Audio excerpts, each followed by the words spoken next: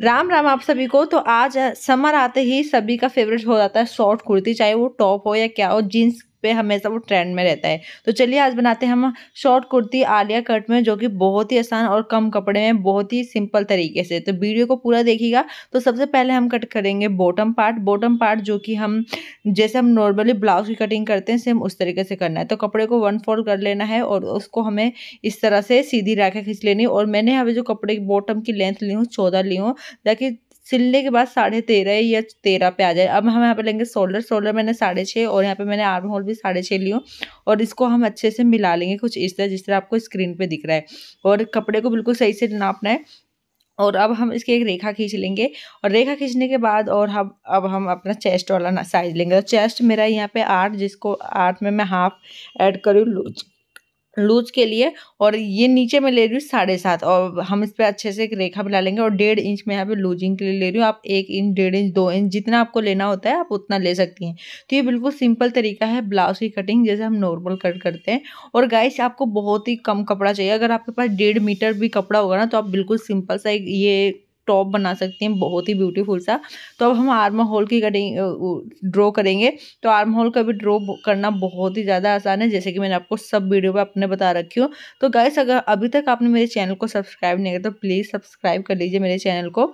और मैंने, ये मैं फ्रंट का आर्म होल ड्रॉ कर रही हूँ, जो कि हमें हाफ़ इंच अंदर की तरफ़ ड्रॉ, लाइन खींच के करना होता है, और ये शोल्डर पे मैं तीन पे निशान लगा ले रही हूँ। अब हम इसकी कटिंग कर लेंगे। कटिंग करने के बाद, कुछ इस तरह हम कटिंग करने के बाद देख सकते हैं, अब हम इसका फ्रंट का कटेंगे। तो फ्रंट का कट करने के लिए हमें कुछ नहीं चाहिए, सेम उसी तरह कपड़ा चाहिए, और उस पर हम एज इट इज़ रख देंगे और इसकी कटिंग कर लेंगे, बिल्कुल सेम टू सेम कुछ हमें आगे छोटा, बड़ा, नीचे कुछ भी नहीं करना है। अब इसको एक पार्ट को बैक वाले पार्ट को हटाने के बाद, अब मैं इसके पार्ट वो फ्रंट पार्ट के जो मैंने आर्म होल ड्रॉ करी थी उसकी कटिंग कर लेंगे।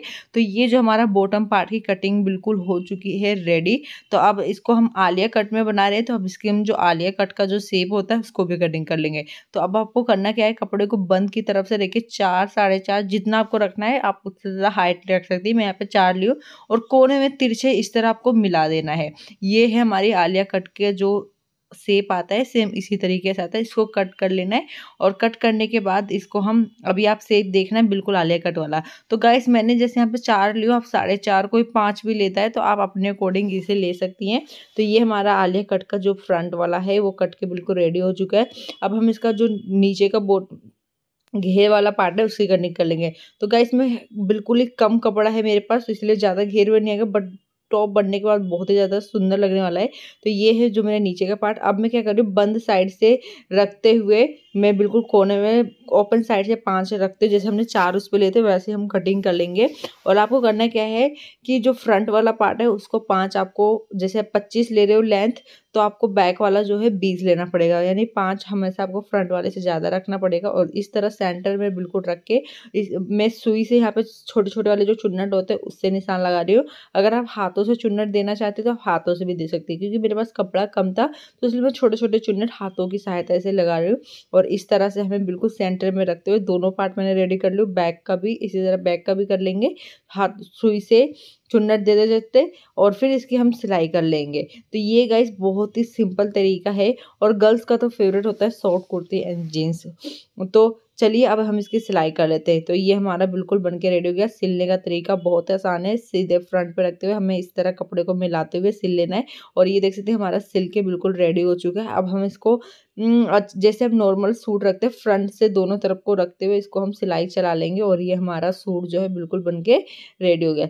सिलाई चलाने के बाद देख सकते हैं आप, बहुत ही सिंपल सा कितना एलिगेंट सा लुक आ रहा है। बहुत ही परफेक्ट लुक अब इसका हम गला वाला बनाएँगे।